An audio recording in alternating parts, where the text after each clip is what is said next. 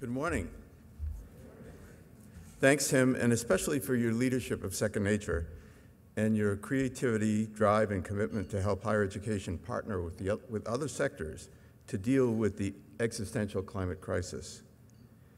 Um, Second Nature and later, you know, starting about a quarter century ago, Second Nature and later ASHE, the National Council for Sustainability in the, the Environment, the Intentional Endowments Network, and others were created for a sole purpose. And that was, that was and is to help higher education fulfill its purpose of maintaining and renewing civilization. As we all know, modern civilization could not exist without higher education, and we are the key to its future. Unfortunately, humanity continues to be on an unhealthy, inequitable, and unsustainable path on a finite planet with a rapidly expanding population uh, and material needs and desires. Higher education is critical to the rapid change in mindset, knowledge, and exemplary action for, for, the, for the path uh, to sustainability. Thank you to all of you for the, your unprecedented leadership in helping to make this transformation, especially in this current political climate, as Tim in indicated and especially the 500 or more institutions that have committed to be, becoming carbon neutral, uh, build resilient communities, and transforming education. When we embarked on, the, on, the, on this mission at Second Nature uh, in 1993, my colleagues and I began to explore how, to got, how we got to this place as a species and what principles and strategies would allow us to survive and thrive. I was fortunate to read a seminal book in 1993, The Ecology of Commerce, which helped put in, in bold relief how commerce and sustainability were antithetical by design, but not intention, and laid out a set of principles for a just and sustainable economy. I was intrigued because it was written by a brilliant, successful entre entrepreneurial businessman named Paul Hawken. He quickly became one of the most important leaders in helping business understand that they must provide for social well being and preservation of the life support system in order to survive. I quickly sought him out and was able to persuade him to join the board of directors of Second Nature in the 1990s. That began a journey with him and many others, a number of whom are with us today, to understand and utilize the deep strategic sustainability principles that are embodied in many of the elegant ideas uh, that we embrace today.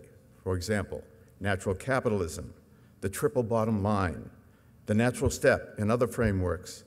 Uh, uh, and I had the pleasure of working with Paul to bring the natural step to the United States, which we did successfully in the late 1990s. As you can see from his bio, he has continued to have a major impact on business and civil society as a thought leader, author of eight books, an incredibly sought after speaker, a consultant to heads of state and to major corporations, and an entrepreneur. In many ways, he is the father of the corporate social responsibility efforts of the last three decades. Now he has embarked on his most ambitious task, dealing with the climate crisis, a stark but not the only example of humanity living out of sync with our life support system to our own peril.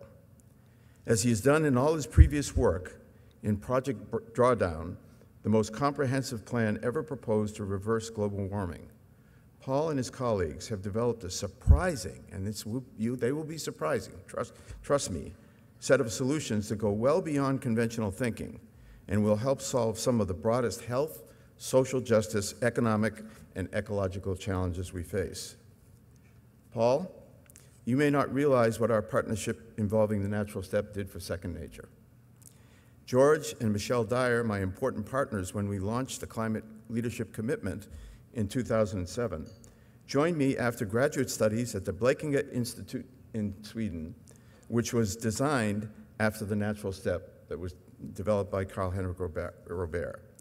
So thank you for that, Paul, and for being one of my most important mentors, a good friend, for your clarity and drive in helping society see the possibilities for long term survival, and sharing your ideas with us here at the Climate Leadership today.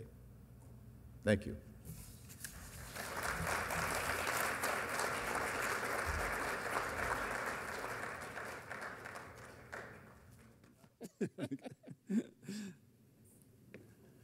Thank you, Tony. Thank you, Eric, and um, Tim, too. Thank you all for and the Intentional Endowment Network, Second Nature. Thank you, Danielle, who is the house mama here, where she, she puts it, makes this all happen. Um, and thank you, everyone else, for coming today. So early in the morning, I was um, woke up early, and it sounded like on the third floor, like the Le Mans racetrack from my room. I don't know about yours, but that was time to time to get up anyway. uh, yes.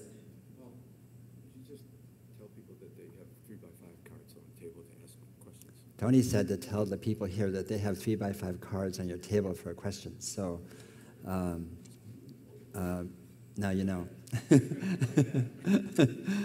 um, Drawdown um, is a work uh, that started really in my mind in 2001. And in 2001, the third uh, assessment came out, the third uh, IPCC Intergovernmental Panel on Climate Change assessment came out, and I think those who follow climate follow each assessment, and no one reads the whole thing. You read the summary. um, uh, and I read it in 2001, and it was more pessimistic than the second, which is more pessimistic than the first, which is in no small part due to the fact that it's a consensus report. And as you know there's many scientists here, there's no such thing as scientific consensus. Science is evidentiary. and um, so the consensus is due to Venezuela, Russia, China, and Saudi Arabia, which means that everything was tamped down. And so you had to parse it and read between the lines. And um, at that time, uh, with all due respect to the Carbon Mitigation Project, um, nevertheless, it came out that year, the, the famous global wedges. Uh, and the glo eight global wedges were adopted could stabilize emissions by 2050. And they were comprised of 15 solutions. And of those 15 solutions, 11 of them could only be adopted by the boards of directors of large, very large multinational corporations, uh, eight of which had to be energy uh, utilities, one energy, one car, and one appliance company. And every one of those solutions is underwater financially which meant that the solutions to our fate depended on the very conservative boards of directors of large corporations basically breaching their fiduciary responsibility and spending down their balance sheet. And I thought, I am not so optimistic. People are reading this and going, oh, wow, we have a solution. I think, no, we don't. And it was at that time I started to ask people, friends, really, do we have a list? Where do we stand? Do we know what to do? Can they scale? What do we have at hand? Are we really capable of doing this, addressing it? And furthermore, at that time and to this day, I was very concerned about the language, which I'll talk about more um, uh, later into the presentation. But the language then, and as is now, was about stabilization or reduction or mitigation. These are the words you hear, these are the nouns you hear with respect to climate. And I dare say that I don't I think the people who started to use mitigation probably meant militate. Mitigation means to reduce the pain and seriousness of something. And I thought, well, I, that doesn't sound very appetizing to me um, about climate change. And furthermore, I wanted to name the goal. So I started to talk about drawdown in 19, uh, excuse me, in 2001, you know. And uh, I went to NGOs, I went to institutions, big NGOs, and said, let's do this, let's map, model, and measure the largest solutions to reversing global warming, and they all looked at me a little bit bug-eyed and going, really? And, but we don't do that. We don't have the expertise. Why don't you do it? And I said, well, I certainly don't have it either. And I did that for two years, sort of like Diogenes, you know, looking for a wise NGO. And um, not to say that there aren't, but just like nobody wanted to do it. And I forgot about it until 2013. And in 2013, Bill McKibben published in Rolling Stone, Global Warming's Terrifying New Math. I think some of you may have read that, and it was aptly titled. And what Bill McKibben did at that time was take um, uh, Mark Campanale's work at Carbon Tracker in London. And Carbon Tracker, basically, Mark analyzed as a prior, his prior career was a financial analyst, and he analyzed the balance sheets of all the large uh, coal, gas, and oil companies in the world and uh, their reserves, that is, their assets, which was uh, the coal, gas, and oil in the ground, and basically said this is unburnable carbon. If we burn it, we're Venus, so it's kind of why is it an asset? Why does it have value? We won't even be here to burn it uh, if we do. And um, Bill McKibben burned it, so to speak, in the article. And I had people coming to me saying, it's game over. They're just, they're, these are activists. These are not just activists who've been very effective with respect to climate and the environment and just said, it's over. We're finished. We did it. We tried. It didn't work. You know, we failed. And it occurred to me at that time that sometimes in a, in a psychological sense, when we give up, you know, we've screwed up or done something, but we, we surrender. There's, we surrender. And when we surrender, actually, it, it's actually game on. In other words, game over is actually the beginning of game on. And um, that's when I got together and created Project Drawdown. And uh, with a small uh, amount of, uh, negligible amount of money and, and just a small number of people. And drawdown refers to that first time on a year to year basis where greenhouse gases peak and go down.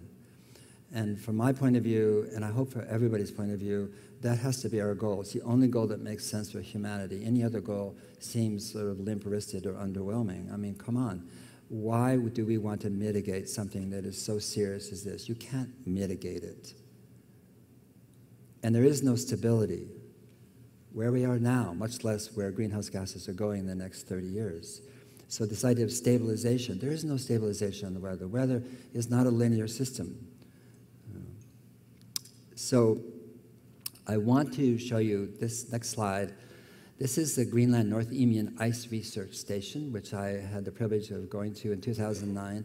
And I show it to you because there's scientists from 12 countries that basically go there for 90 days of the year because it's too dangerous before and after. You can't even get in. Um, and what they do is they drill down uh, through the two miles. They finish, uh, this is 2009, they completed it, but they drill down two miles through the uh, ice sheet uh, to bedrock. And what they're studying is the Eemian period, which uh, occurred 20, 125,000 years ago, um, at which time the temperature on the Earth was 1 to 2 C higher than, than pre-industrial age. In other words, the 1 C is what we are right now, and in different parts of the Earth, there's 1 to 2 C higher. This is um, what it's like in the summer.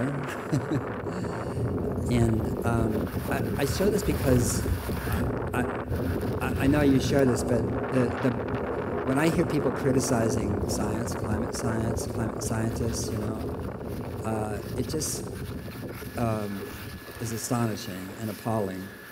Um, these people all over the world are doing basic research, core research, extraordinary research, um, under circumstances, in this case and many other cases, of uh, extreme danger. The person who is the go-to guy here who told you what to do, what to wear, what not to do, so forth, in whiteouts. Um, basically, 10 days before we got there, had been caught out in a whiteout and is now a double amputee. And, and so um, what they do there, and you can see, is um, drill, and they, they go down. This is the um, result. This is the ice cores, and they can take a sort of a caliper, which is really an anode cathode. They go right down the ice core, and they can detect exactly the amount of CO2, sulfates, uh, pollen as well, and get a very, very good uh, uh, sense of what the atmospheric conditions were at that time. And then they um, benchmark they, with their colleagues in Antarctica. So they can tell if sulfate levels are high, they're not high in Antarctica, then that means it was a northern hemispheric volcano that occurred, or bihemispheric or southern. Extraordinary how much we know about the past. And the, the, the reason I show this is because this is a, um, uh, you may have seen this in different forms. This shows CO2 levels for the last 400,000 uh, years, and that dotted line is uh, 300 ppm. And our genus Homo, whether it's Erectus or Sapiens or Floresiensis or whatever, uh, has never existed on this planet for uh, 2 million years, over 300 ppm until 1939. And so we're in terra nova. We don't really know where we are anymore in that sense. And what you see um, is the uh, current level. Uh, that current level is 407, depending on what month of the year, but it's about 407 ppm. But I think that what we don't hear is that this is the actual level of ppm right now. It's 490 ppm. Because 407 is Mauna Loa, it's Hawaii, it's fine, it's accurate measurement. This is including the other greenhouse gases and their uh, global warming potential, uh, methane, nitrous oxide, and HCFCs. We're at 490 now. So when you look at this and you have someone say, well, we want to mitigate, I'm going, you got to be kidding me. If you're going over a cliff fast, you don't slow down and say, we're cool, no problem. You just Thelma and Louise in even slower motion. I mean, you're going right over the cliff. And so to me, when you name the goal, actually the possibilities and the innovation creativity expand. They don't shrink, they expand. Possibilities increase with a, high, a bigger goal. So drawdown is the bigger goal. It should have been the goal all along. Um, and stabilization, in a sense, auguries that. Say, well, if you stabilize, then maybe the next year goes down. But stabilization is not a goal. That circle you see right there is the Eemian period, 125,000 years ago. And at that time, as I said, it was 1 to 2 C higher than pre industrial levels in terms of the ambient Earth temperature, but the oceans were 10 to 20, feet, uh, 20 to 30 feet higher. Crocodiles were going up the British Columbia coast to breed in Alaska. There was hippopotamus in the Thames River Delta. There wasn't Kent and Sussex. There were wetlands. There were giraffes and lions romping over Germany and Denmark. And that was 1 2C, okay? And the causes are very different than Chevron and Exxon, but nevertheless, that is the result of just those deltas in temperature. And so um, this is how most of uh, humanity gets its information about climate change. And it's important to understand that because you're very well informed, you're within institutions and uh, NGOs that work on this. Literacy is your stock and trade, if you will. Um, education is about literacy. Uh, and what you see here is the headline is correct, and usually the headlines are based on some new uh, report that's come out from science, good science. But what you also see is uh, clickbait next to it about the woman who smashes her husband's head with a frog ornament and um, mummifies them for 18 years in plastic sheeting, you know, and somehow there's a, like an equivalency here. Well, wow, there goes the Tower Bridge, and, and, and by the way, wow, a mummified husband, and uh, which probably sounds interesting to some women, but um, the, uh, but again, you see this again and again, and this is the, the headline is the Peter Bates study from Morgan State. It was, I don't agree with this study, but it was a good one. Um, but, and then you have 20 things you didn't know you could do with Coca-Cola, you know, and they're doing the right thing, of course, pouring it down the toilet. But, but I mean, just, I said that in Atlanta, and it was really inappropriate. it's like, talk about, talk about insensitive, okay. Um, but again, this is, we see lots of these, we hear it, and, and all over the world. And, and then what happens? Well, if we're really concerned, then we Google, well, what can I do? You know, and if you Google anywhere in the world the top 10, 20, 40 solutions to global warming or climate change, you'll get this. You, you always get Scientific American Union concerned scientists. And you look at the lists on the left, and you might as well add love your mother. I mean, these are proverbs. Of course, be efficient, be smart, eat smart. Consume, I mean, you know, yeah, they are solutions, but, you know, their behavior, and I dare you to do the first one, forego fossil fuels for uh, 24 hours. Just try it. It's interesting. And, um, and then on the third one, on the Union of Concerned Scientists, you know, like you're, yeah, I should get a power strip for my home entertainment center. I don't have a home entertainment center. It's like this idea, and so unless you have an unless you have an IQ lower than room temperature, I mean, you look at this list and you go, uh, "This isn't inadequate to the task at hand." I get it, and thank you for sharing. But um, and what does an individual feel? So on one hand, on the headline level, they're getting their adrenal their adrenals just pumped. You know, basically, fight or flight is basically the methodology the media uses around climate. And then you take that into these solutions where you feel disempowered. You know, I can't do it. I have a mortgage. My mom has Alzheimer's. The kids are uh, acting up. And uh, I mean, you, you have a stressful life already, and somebody says, by the way, you're responsible. Here's what you can do: forego fossil fuels. And what you feel like is you just you you, you disengage. You go numb. You just go. I hope they do that. And the problem with climate communications is there are theys out there who imply that we are doing it. And with all due respect to a friend and a man who I have great respect for, you have Al Gore going over and over and again and again saying solar, solar, wind, solar, solar, wind, Elon Musk. And if we do those three things, we have a hall pass to the 22nd century. And that's a scientific howler. Those are crucial solutions EVs, solar, wind, absolutely, no question about it. But somehow, the three things that people could do nothing about except buy an EV or put a solar panel on the rooftop, somehow that that is going to solve the problem. What it does is, is they, the problem is they's it. It's they. They will do so. I hope they do it. I'll do the best I can. And so it disenfranchises people, it disempowers them completely. And so we wanted to know at Project Drawdown where do we stand. As I said, I wanted to know it in 2001. We still do. And so we created this organization, and um, we didn't have any money and we didn't know how to do it. So other than that, we were good to go. And um, so we wanted this to be science-based, uh, of course.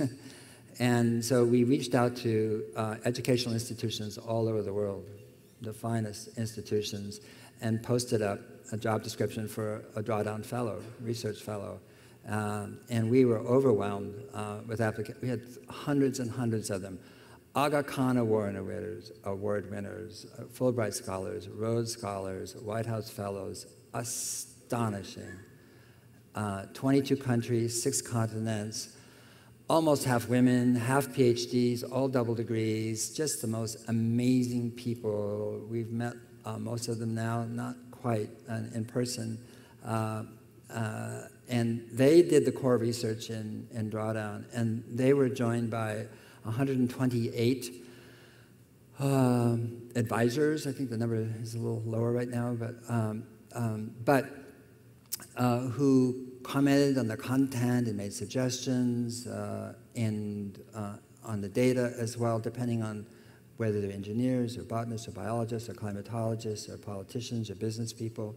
And then they were joined by 40 other uh, outside expert scientific reviewers from RMI, from uh, Next, Gen, Next Gen Climate, from Dan Lashof at EDF, and so forth, who basically reviewed our models. So basically, we have about 200 people creating the data you see. Um, and what we did is we just did the math. That's all we did. We, we're, we did not get fancy. Uh, and what you see in the book with content, of course, is you see these numbers. There's many, many, many more numbers generated by the models themselves. Um, but um, uh, the rank is by the number of gigatons, either of CO2 or CO2 equivalent, uh, avoided uh, over 30 years or sequestered. So what we did is all the solutions we modeled, and we map modeled and measured 100 substantive solutions, the most substantive solutions um, to reversing global warming is um, we relied entirely on peer-reviewed data for the carbon or the greenhouse gas numbers, entirely. If there was a spread in the data, then we did um, sensitivity analysis for the median and we chose the low median number. And you do get a, quite a spread in land use. You do. You don't in solar and stuff, but you do in land use. Um, and, and so it shows the number of gigatons. What we did is every solution we modeled was scaling. So it's already scaling. It's not a question it should scale. It is scaling. And what we did is we continued to scale it for 30 years in a rigorous but reasonable way. Um, and that's that second figure, which is the number of gigatons that would be avoided or sequestered by 2050. Uh, and the numbers are the same by 2050. The cost, in this case, negative because it's compared to uh, combined cycle gas or coal in applicable countries where geothermal is practical and it's cheaper than fossil fuels. And then you have the 30 year uh, profit, net profit, or net loss uh, if you implement that solution. In this case, uh, it's a profit of 1.02 trillion dollars. So that's the numbers you see in the, uh, sort of in the book. There, as I said, uh, dozens and dozens of more outcomes from the model. And I just want to give you a sense of the diversity of solutions, as Tony uh, mentioned. Uh, it, the, it's surprising. The solutions surprised us we started with 300 and we kept winnowing them down and doing back of the napkin stuff. And then we had a bigger napkin and did more and more. And pretty soon we were modeling. Um, and we were very surprised at the diversity, not the diversity, we knew they're diverse, but, but at, at how they ranked uh, and what their impact is um, and would be. Um, afforestation is putting trees where there hasn't been trees before. So, or putting them in like in Iceland right now where they were cut down so long ago, people forget that it was forested. So that's afforestation. This high-speed rail, um, the Chinese and Japanese own this one, and we're still fumbling around here in the U.S. This is one of the most important solutions. It's called Indigenous Peoples Land Management. It's just supporting Indigenous people on the lands which they uh, are, still have been allowed to basically manage and control. Um, indigenous people have lost most of their land in the world. Um, but the, the important figure there isn't the top two, it's the bottom right one, which is really the amount of CO2 equivalent, or CO2 actually, that they are sitting on and biomass and underneath in the soil on those lands, which is greater than the amount of CO2 in the atmosphere. So that tells you something about both the possibility, the protection needed, and um, the danger thereof. Improved rice cultivation, there's two ways to change it, which really go from an anaerobic to aerobic environment mid, um, mid-crop. Um, each one of them produces methane uh, emissions by about 50%. Rice is a big emitter of methane and in, increase productivity and actually decrease costs. So actually, they're kind of a no-brainer. It's just a matter of teaching, uh, and, uh, and, that's why there's no cost to do it. It's just a, a oral teaching. Uh, this is uh, onshore wind, just give you a sense of scale. Um, and you can see the bottom right number of 7.43 trillion. This is such a conservative number in terms of profitability. Um, um, and uh, I, I, I, mentioned earlier today, I think to Ken Laughlin, but that there wasn't, um, so far, I should, uh, knock, knock, knock. So far, there has been one scientific gotcha or economic gotcha for drawdown. In other words, not one scientist has come back and said, oh, you blew it.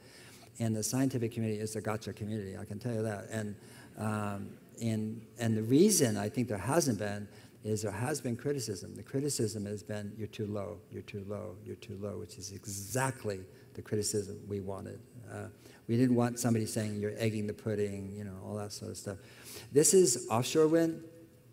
And again, what, what I want to say about this is we often see pictures of wind turbines, you know, on a, a grassy hillock, you know, and there's children playing in the foreground with wildflowers and daisy chains, and there's this beautiful wind turbine, the blue sky. You go, oh my God, that's the future. That's a terrible place to put a wind turbine. Um, this is where you want to put them, where the, where the weather's really pissy and awful. And this is in North, North Shore and Sheringham in Norfolk and the North Sea. Um, and uh, it's not Photoshop, that's a triathlete. Um, and this one is an Uru woman, Lake Titicaca. She lives on a straw uh, home in a straw island. Uh, she has been lighting up that straw home at night so her girls could do their homework with a kerosene lamp. and now she has a solar panel. She's not grinning because she's doing her part for climate change. She's grinning because she's doing her part to be a good mother. And I think this really underlines something that you'll see in the 100 solutions, except for one, really, maybe two. They're all no regret solutions, which are these are things we should be doing regardless of whether there's a climate scientist alive and we were clueless as to what was causing extreme weather. We would want to do these things because they have so many benefits to humanity in terms of clean water, health, employment, prosperity. I mean, it just goes right on down the list. Um, and so the idea that somehow that if we adopt these things, if we do it, um, um, that it's a cost is, is uh, diabolically ignorant. By the way, we do have one of my advisors here, Dennis Carlberg from Boston. I just there's Dennis. I'm I'm so sorry. For, we have one of our advisors right here. Okay. Um, yeah. Thank you. um, so this is rooftop solar. And again, what you see with rooftop solar, let's pick on Atlanta again, is you see these drone shots of three-car garages in Atlanta suburbs, you know, with, you know, with a 10 uh, kilowatt array. And this is renewable materialism. This is not what we're talking about going forward in the future. and, and rooftop solar has such a big impact on the lives of people all over the world. This is women smallholders. Why is it here? Hmm. Well, first of all, all about 24 5% of the food in the world is produced by big ag. And I don't know about you, but since I've all my life, I've been told unless we adopt big ag, industrial ag, we're going to starve. Because I started the organic food movement very much so in this country when I was 19 years old and everybody said, "Oh, you're going to starve. You're going to, you know, it's a, you know, poor children." it was just guilt tripping. You know, I already was raised a Catholic; it was bad enough, and then, and then we had, you know, people just ragging on us about organic food. You know, and um, but women are 40% of the smallholders, which produces 70 plus percent of the food in the world and uh, 40 times 70 is 28%. Do the math. Women produce more food in the world than big ag. Who knew? Why is it here? It's here because they don't get the support that men get in terms of seeds, tools, uh, training, and if they do, they outproduce men. Mm. And if they do that, you have a big change in avoided deforestation. So that's what we're modeling, which is let's support women on the land. And, and what happens, it has a huge environmental impact which affects climate. Um, this is the, the Kermode bear, the Great Bear Forest in British Columbia. Again, it's forest protection. Uh, this was uh, uh, populated by indigenous people, of course, uh, not so much now, the, the Haudegwieri there and others, but, but I mean, uh, the figure in the bottom, 896.2 uh, gigatons. Again, more carbon there than is in the atmosphere.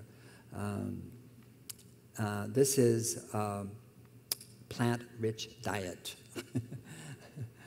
and uh, it's number four solution. What it really is, is not telling you to be a vegan vegetarian, which you certainly may. It's not about making a food choice for you. It's saying, well, let's reduce the protein intake uh, where we're overconsuming here in the United States for sure. We're about 100, 110 grams. We should be about 50, 55 to be healthy ourselves, and to raise that amount of protein in those countries where it, it, there's malnourishment. And, um, but you do that and you substitute a, a, a, reasonable amount of your protein intake to seeds and legumes and pulses and so forth, and you get uh, basically the number four solution to reversing global warming. Um, and uh, this is regenerative agriculture. Basically, it means many things, but it means stop plowing, stop disking, stop breaking the soil up. I mean, of course, it means other things, and it combines with organic agriculture, but um, uh, the amount of carbon that's released in the soil in the springtime in the northern hemisphere is mind-boggling. Why? Because people are plowing the soil. You know, um, this is the number three solution. 40 4, 45% of the food in the United States is wasted, thrown away. It's produced, it's farmed, it's packaged, it's distributed, and then it's thrown away. And it's thrown away in restaurants, homes, and put in refrigerators where basically food goes to die in this country. And um, in poor countries, it's the opposite, which is this loss uh, uh, at the farm or the supply chain. The cold, they don't have cold chains, etc. Uh, poor people don't waste food, we do. Um, and it's a huge impact. This does not measure methanogenesis, it does not measure what happens to that food when it's placed in landfills and becomes anaerobic, and you get methane generation, which is 28 to 34 times more powerful uh, as a greenhouse gas than CO2. Um, if it did, it would be uh, even rank higher. This is household recycling a Dasanak woman in Ethiopia. We want to get imagery in the book and to, to try to not show a blue bin. like, it's just boring. And so this uh, woman and her uh, sisters go across the bridge uh, where uh, she is in Ethiopia, and they built a bar there for the men who are building the bridge, and they go there in the morning to take get all the things the men have thrown away, you know, the SIM cards and wristbands and mostly beer bottle caps, of course and they make jewelry and headdresses. They all wear it and they sell it to boutiques in France, and that's um, household recycling. Um, and then we have 20 coming attractions, and we have a book coming out, D2, which is 60 more. And these are solutions that are scientifically valid, which are not, uh, which are incipient. They're just there on the horizon. There isn't the peer reviewed data, there are not the economic data, so we can't model them, but we can talk about it. And, um, and the reason I wanted to put them in there is because I wanted to give people a sense that humanity is on the case. Um, to, in other words, we're not asleep at the switch. It, it, we, can't, we can't let the media, or particularly the Beltway, think, uh, be a mirror to us and think that's what's going on and that's what people think and that's who we are. It's not true. And humanity is ingenious, it's brilliant, it's extraordinary in its capacity to invent and to reimagine what it means to be a human being right now, given what we know. This is marine permaculture invented by um, Dr. Brian von Herzen, a plasma physicist, who was flying over the Greenland ice sheet for a friend, a glaciologist, and who was counting melt ponds. And as he flew over in 2001 and 2002 and 3 and 4 and 5 and 6, he, he noticed that the ponds became lakes and the lakes became very big lakes and rivers. He could see on a year to year basis how quickly the Greenland ice sheet was melting. And from that, he decided to change his whole career. He worked with Pixar and Google, was making lots of money, and he stopped everything and invented this marine permaculture. 99% of the uh, tropical oceans are marine deserts. There's, there's no life in them at all. Right? And what's happening in the oceans, 93% of the heat from global warming is being absorbed in the oceans and is creating these thermal blankets. And these thermal blankets are preventing basically the natural thermoclines and current cycles to occur. They're being suppressed by the heat. What marine permaculture does is put in frames, and they're just frameworks for, as you can see, for kelp algae, uh, uh, phytoplankton, etc., and not phytoplankton, but the, uh, the area for phytoplankton. And these are PET frames, recycled PET that don't break down in salt water. And there are these tubes that go down to the thermocline, 200, 300 feet down, these cold, nutrient laden waters that are there. And the actuation of these things is by the rise and fall of the water, and it brings the water up in these tubes and then spreads it out into these frames. And with, this is what you see within three, four weeks, literally. Done it again and again. And you see phytoplankton, zooplankton, you see algae, you see kelp. Nothing sequesters CO2 faster on Earth than kelp, by the way. Number one, over bamboo, everything.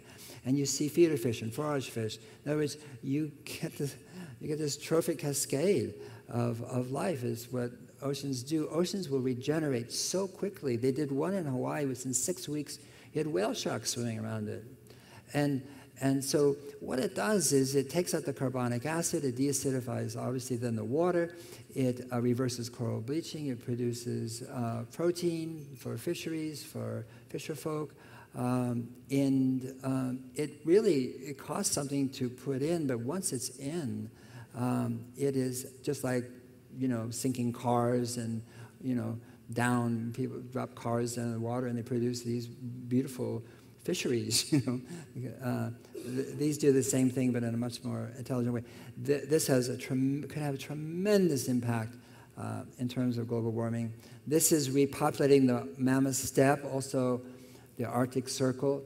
Um, basically, the animals were extirpated by us 12,000 years ago, most likely for food because it got cold, and uh, and pretty much you know, the musk ox and the wolf and the bison and the ones that were uh, endemic to those areas uh, all were wiped out completely. It's about bringing back these animals to the Arctic Circle. And why? Because during the winter, and this is also um, uh, the reindeer, which you see, which are still there to a lesser degree, because in the winter, when it's dark and they're hungry, they brush away the snow with their hoofs or their snout or their uh, horns, and it reduces the temperature of the soil by two degrees Celsius, which is a permafrost protection plan. So again, these are two biologists in Russia, the Zimovs, father and son, again creating what they call the Pleistocene Park, and in a sense to bring back life, to regenerate not only life there, but actually to provide a buffer and resilience to us. This is building with wood, um, and there's a 90 story building going up in London, built entirely of wood now. The 30 story building already exists. Uh, these buildings are safe as, steel and concrete, safer in some ways.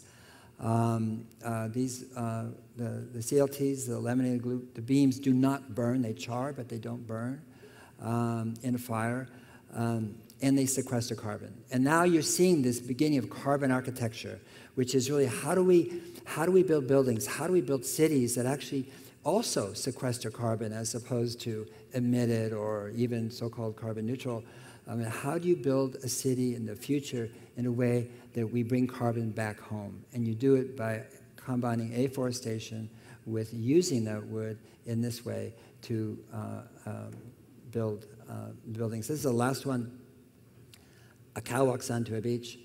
Um, um, when I see this picture, there's many titles I could think of, but this is the one I'm going to talk about. Uh, this is about a, a, a farmers in Prince Edward Island who discovered or noticed that his dairy cattle eating kelp produced more milk, and from that observation, one thing led to another.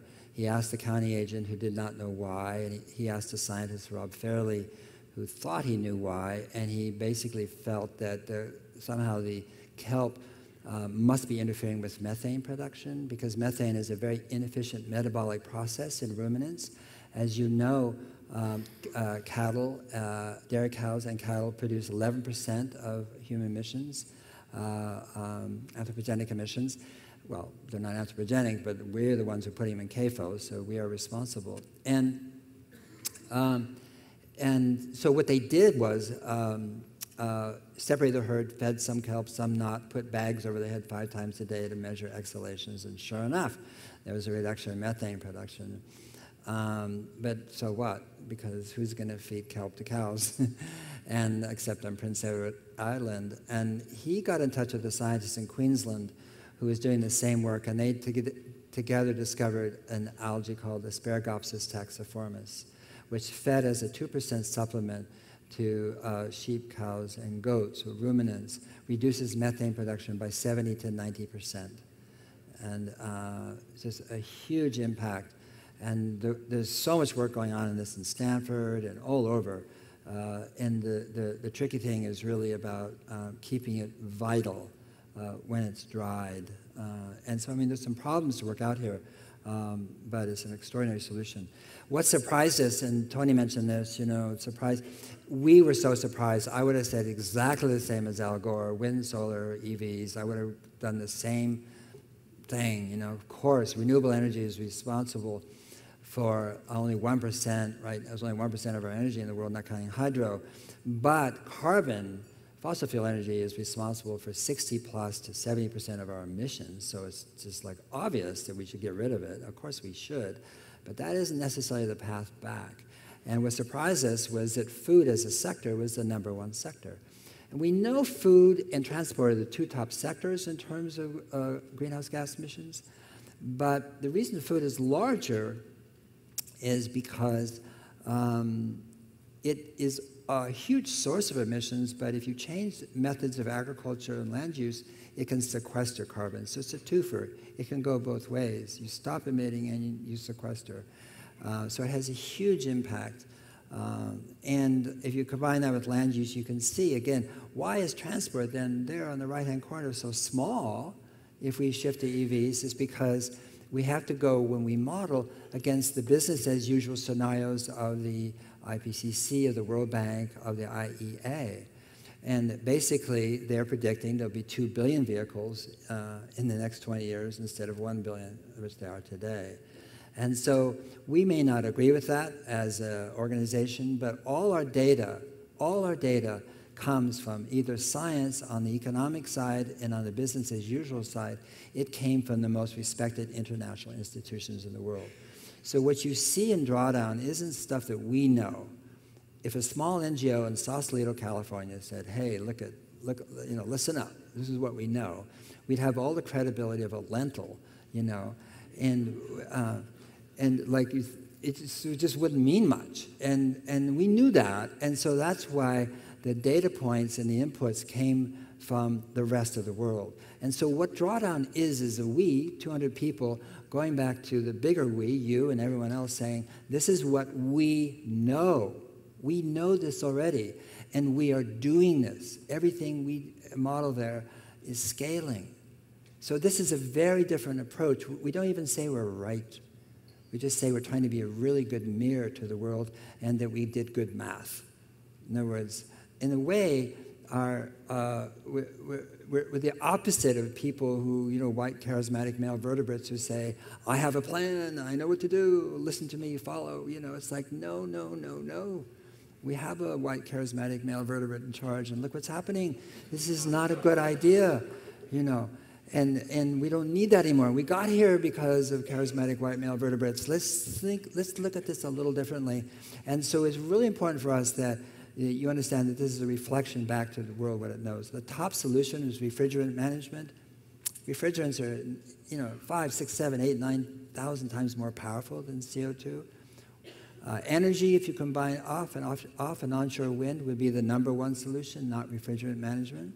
But at the same time, um, this little cutie pie uh, in Kenya is the number six solution. It's educating girls, and educating girls is the. Uh, there's a thousand reasons that we should do that, and it had nothing to do with climate. But we were modeling the impact on climate, and basically when a girl is yanked out of school when she's at or, or, or, at puberty to either go to work to put her brother through school or to basically early marriage, um, she has a very different life. Her choices are made for her uh, as, as to who she becomes as a woman.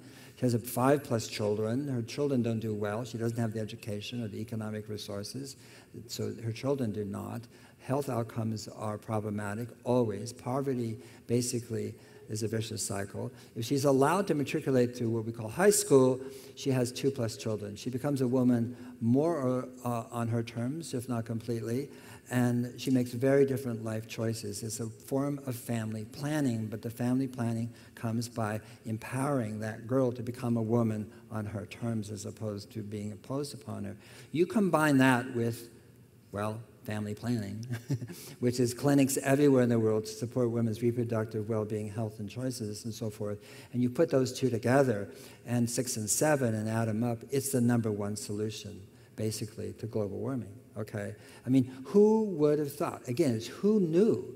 And this is why, again, it's like, why don't we know that? The whole book is full of who knows. This is not us trying to advocate and say, you know, this is what we think is true. We just did the math. And um, we don't have much time, but you can see in the back of the book different scenarios. One plausible, which is if we just scale it the way it's scaling now, we do not achieve drawdown in 2050.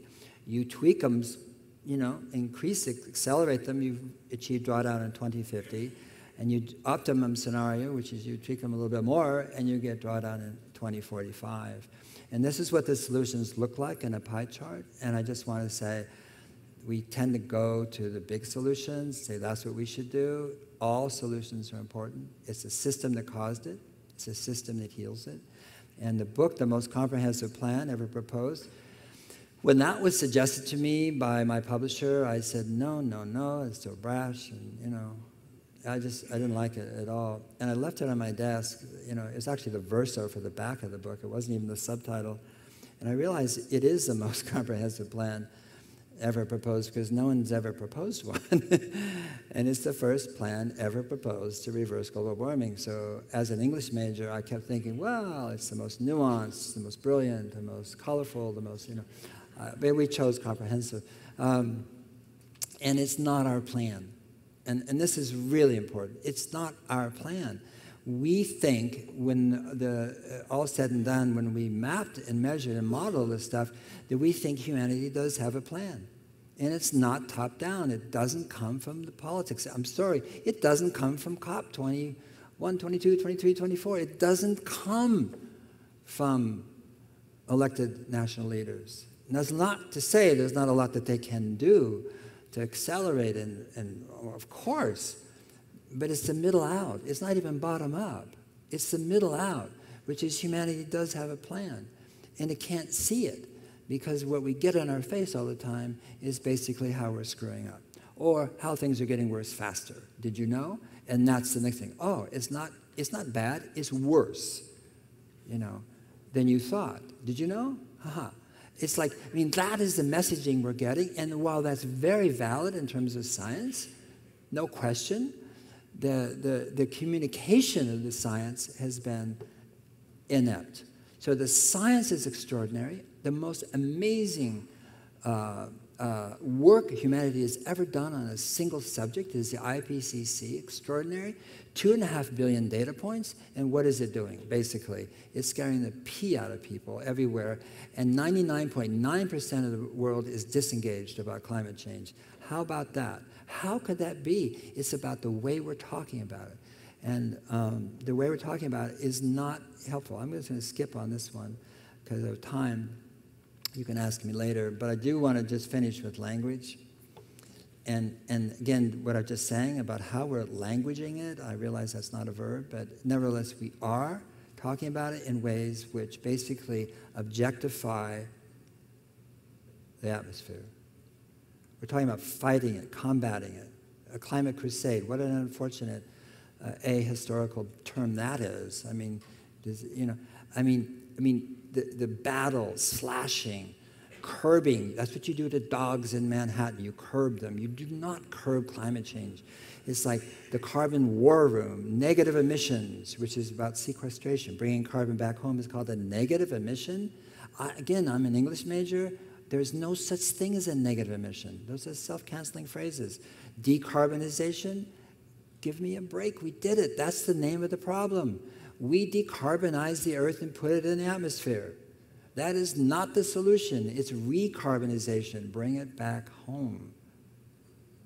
And and again, does I mean there's does every woman in this room knows what it feels like to be objectified.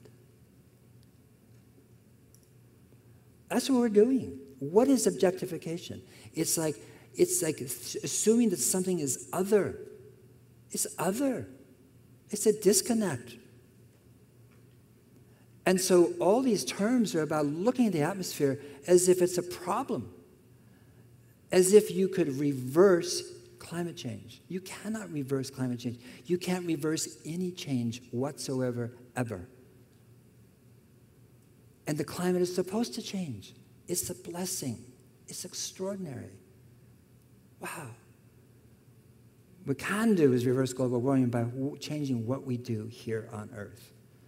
But this rhetoric, this way of talking about it, again, is guaranteed to disengage. And then finally, you have the pièce de résistance, which is 2C. Okay, science based target, right? Check again. That's Nordhaus in 75 at Yale, an economist, and Joachim Schellnhuber, 1994 in Germany, a scientist. Both of them say they pulled it out of thin air. It is not science based. It may be right. I'm not saying it's not correct. I'm not saying it's good, not good to have a target, but this idea that it's science based, I'm sorry. There is no science on this. It's guess. But the problem with it is it's a future existential threat. It's out there somewhere. And when it happens, it's like, wow, you don't want to cross that threshold because what? All hell's going to break loose, or we'll never be able to get back, or no one knows. It's like the bogeyman, right? So we, that's our, we can't go past it. So what's wrong with that? What's wrong with that? Is that human being, the human brain, is not wired to respond to future existential threat. Those people in the past who responded to it and thought about it a lot are not in the gene pool. They are not your ancestors. The ones who are here, the human beings who are here, responded to current existential threat. That's who we are. And so for us to presume or to think that somehow if we beat it into humanity, that it's going to wake up someday and say, shoot, yeah, that's really bad, let's do something, it's not going to happen. This is the ineptitude of how the science, which is brilliant, is being communicated to humanity. And what do we respond to? We respond to human needs. What we need to do if we're going to reverse global warming is to respond to human needs and address them. We are the only species without full employment. Think about that. There's 10 million other species, and we're the only one who marginalizes itself and says, You have no value, we don't need you, see ya. And then we build an industrial prison complex to put it in and make money off of the marginalization of our fellow human beings. You know, brilliant. How's that working for us? And never has there been so much work that's needed to be done, good work. And what human beings need is security. They need work. They need meaningful, dignified, living wage work that makes them feel that they have value in this world. That's what people need. And that's what we need to do.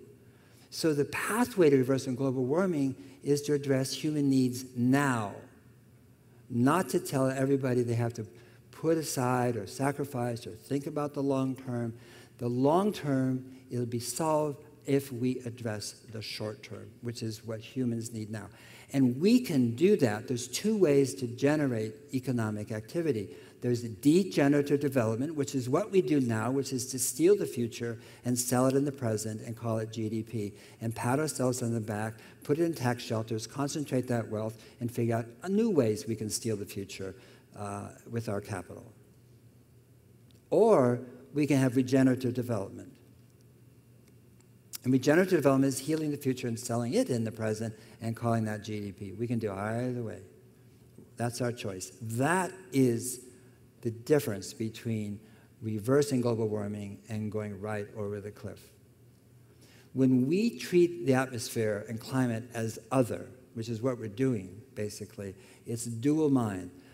That is the disease. That is the problem. We, other people, other races, other gen- gender, not other genders, but I mean just other gender, other, I mean, that is what we see is riddled in our, our politics right now, is seeing humanity and religions and cultures as other. And that, that is the thinking that God is here, cannot solve it. It's the problem itself. You know. So it's really about coming together. And, and, and I just, maybe I'll show this last slide. I know I'm over, but this is Mark Watney. And the Andy Weir book on the Martian, this is what it's from, is actually a metaphor for what we're doing on Earth because basically he's in Mars, he, built, has an atmosphere, he's making potatoes, growing it in his poop, which is a little gross, but nevertheless, uh, he's in a closed system. We're in a closed system. Basically, he blows his atmosphere, right? Blows up. He's got to get out of there. He comes back, and he's talking to wannabe astronauts. And what is, what is what's going on? He's, you know, I mean, they're all looking at him as the hero came back. He's got gray hair, a little bit of gray hair. And he said, uh, basically, he said, pay attention because this could save your life. When I was up there, did I think I was going to die? Yes, absolutely. Space does not cooperate. And that's where we are, you know. Atmosphere does not cooperate. It does not cooperate. It's just being the atmosphere, right? We can fight it all day long, not listening.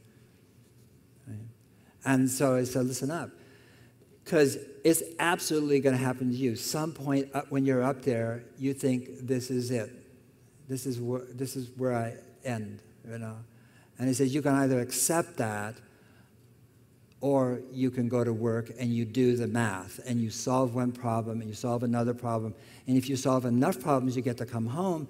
And basically, that's what reversing global warming is about. It's about coming home. It's about solving one problem and next one and next one. We have the best problem statement humanity has ever created in the science. Let's stop rubbing our noses in the science and the problem, and what we need to do is work on the solutions. And we know how to do it. And that's really what the drawdown message is that humanity is actually extraordinary. Thank you so much.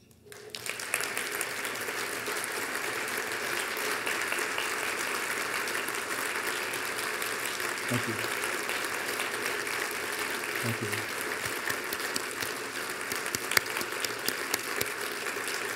Thank you very much. Wow. Thank you.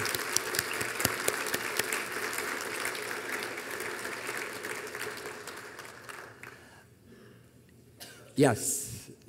Questions? Uh, what, what, am I supposed to do now? Uh, there's microphones and there's three by five cards and there's people and and I love questions. But. All right. First question okay. is over here. Um, hi, I'm uh, Keith Johnson. I'm one of the um, IEN steering committee members. And thank you so much for uh, giving us these insights. It's just incredibly important. Um, one of the things I was curious about is if you know whether Hold it there, closer to your mouth. do, do you know whether there are any academics and um, others that are working on sort of a second book about what are the opportunities for building and creating the next uh, generation's wave of billionaires by implementing these things and bringing together um, both the academics that have worked on this project, chief investment officers from the academics, um, foundations and endowments, and um, teaching organizations for the investment community like the CFA Institute. Is there anything to look at the uh, investment opportunities that you're being considered? Uh, yes. Um, so what's happened? The book came out April 18th, so it's just about nine months old. So uh, what's happened so far? There's 11 universities that are now going to be partners with Drawdown, and they will have the model. Uh, they're going to uh, work with us. Uh, we're a collaboration uh, to, to, to basically curate the model. Uh, those models will be available to everybody in the university or maybe even outside, but uh, to download, to amend, to modify, to play with, to most importantly, to localize and regionalize the model. Because it's a global model, not very useful if you're trying to figure out what's going on in Belgium. And so uh, those universities include Penn State, uh, Georgia Tech, MIT, um, uh, University of Washington, Northwestern, um, the, the, the UC, couple in the UC system, um, and, um, and ANU in Canberra, uh, Imperial College in London, TERI in Hyderabad in India. Um, and we think that's just with about a new university every two weeks now, or one. I mean, it's just, it's just growing and growing. Um, and that's what we want the model everywhere so people can make it better and make it more nuanced, make it more particular to a place. To get to you backwards, we're working with a Danish inventor who's producing stratospheric airships that will be stationary at 65,000 feet that have sensors that can read uh, emissions from the land down to GPS coordinates of a fence line. And we're, we're going to marry that data with the models so that, uh, that if you regionalize the model, you use it to benchmark and understand what are we doing, what can we do, are we, are we progressing.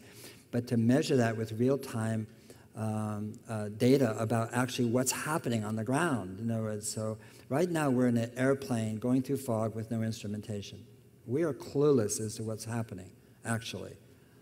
We don't have any idea where we're going, what's happening, who's doing what, uh, and whether it's working. We really do not. And, and so by, by combining these two together, then you can localize in a way that's meaningful to a state, a province, a country, an island, uh, which, uh, which people need in order to act. A system without feedback isn't a very good system. In fact, it dies, it perishes. So this is about creating feedback models and so forth, both up, up from the ground and down from the sky and so forth. In terms of coalitions, what we found is that Drawdown creates self-organizing systems. There's Drawdown Toronto, Drawdown Nova Scotia, Drawdown New Zealand is just starting. Um, we have a, a, a, the dena, the uh, German Energy Agency, starting a Drawdown Europe, which is a hub a center for education. Um, we have uh, a, a, drawdown funders a, a network, or a fund network, excuse me, which is impact investors, uh, family funds, endowments, uh, philanthropists who are coming together to share and understand what to do with this data in terms of risk assessment, in terms of investment, in terms of what they want to do. There's a $500 million uh, private equity drawdown fund being created right now. Its first placement of capital is in Q1 of this year. Um, there is faith-based coalitions. There is a curriculum group gathering all over. There's already curriculum down to fourth grade. really, it's so cute. Oh my gosh.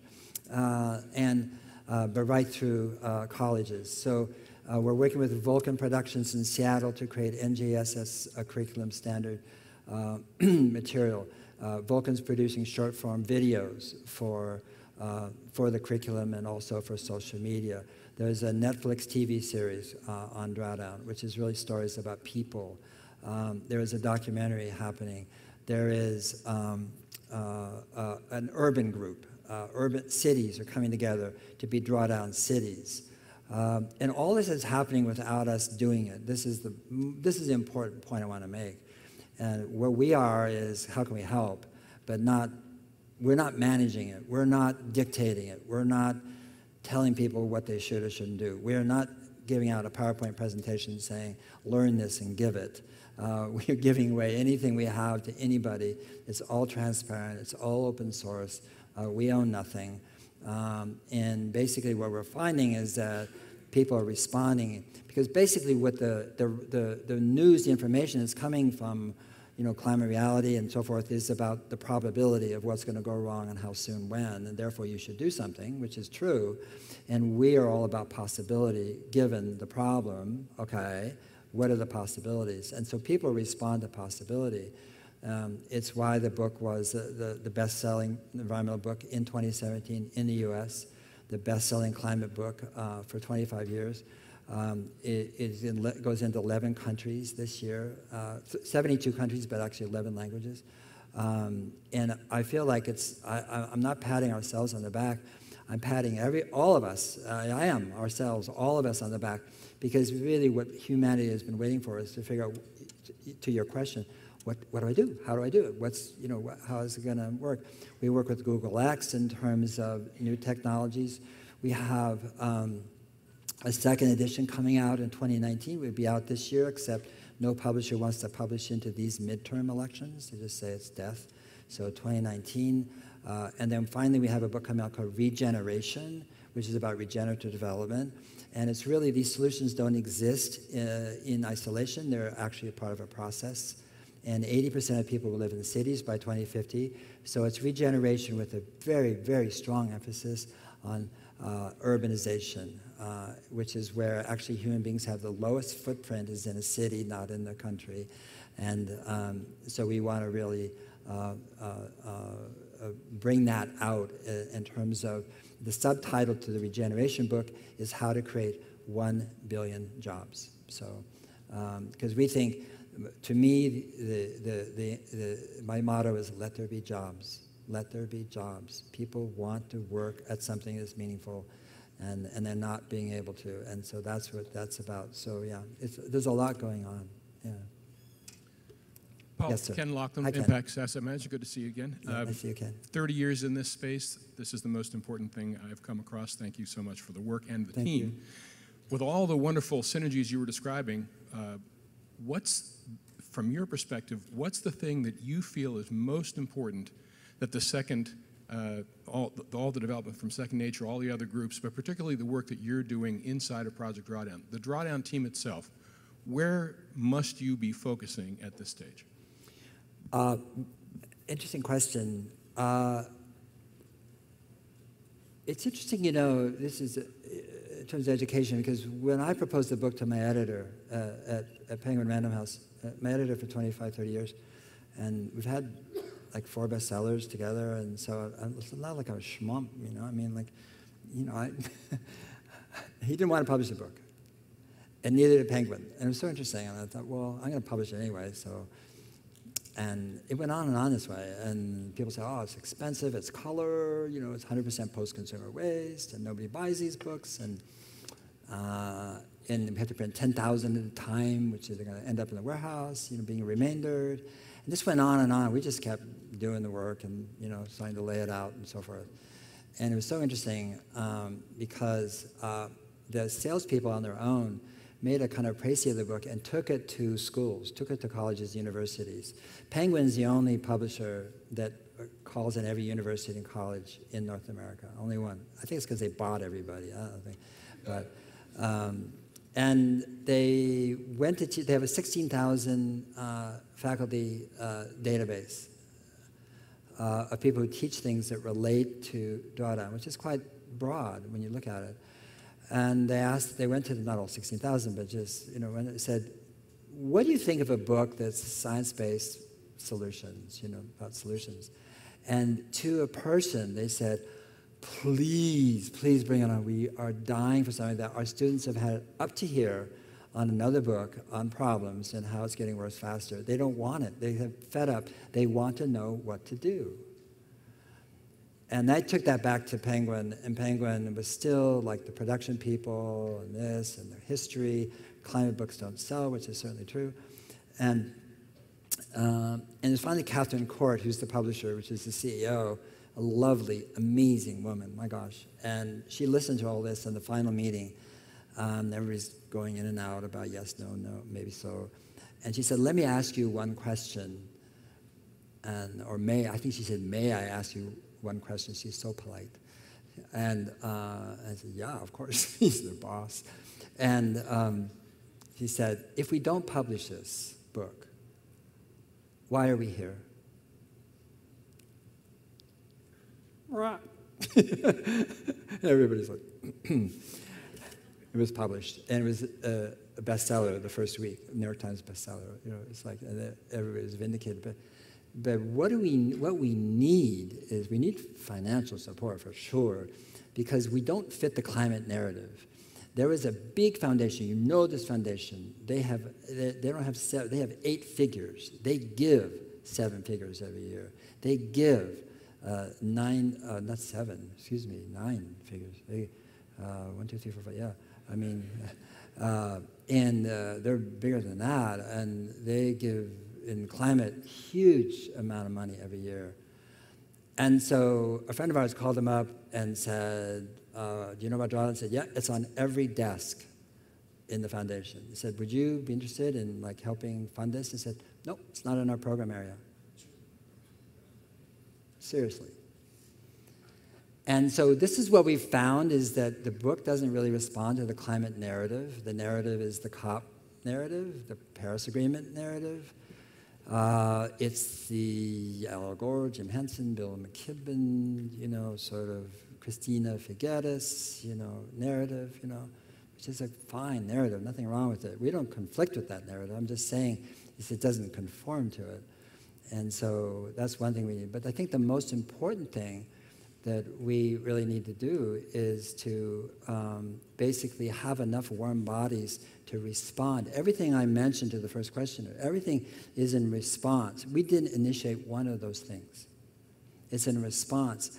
And we are now in a take a number situation, which is somebody says, I, re- the request, the inquiry, the suggestion, the proposal, the partnership. We're going, here, here's the number, you know. And it's like a deli at lunchtime, you know, so we'll get to you. And we, we just don't have enough support in order, in terms of warm bodies, to actually respond to the world. The world is just coming at us from every direction there is. And the governments, the Commonwealth of Nations, uh, government leaders, Macron in France, I mean, it's just uh, astonishing the, the, the, the uptake or the, the, the, what people want, you know, from it because they want to work towards solutions. Uh, and so, um, but mostly we really do want to get it out through the university system, college system, to young people everywhere in the world. And that's, I mean, and again, it's not us telling them what to do. It's like, here, it's all yours. See what you do with it, you know. And that's going to be so exciting from our, our point of view. Uh, we're just 200 people.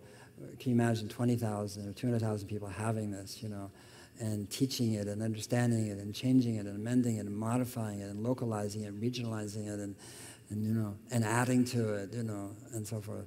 So, I mean, just that alone, I mean, we could just hang up our track shoes and go home if it goes out into the world like spore, like fungi, you know. And really, drawdown is like spore, you know. And uh, we designed it that way, and it turned out that way. Yeah, thanks. Thank you. Thank you so much, Paul. Thank you.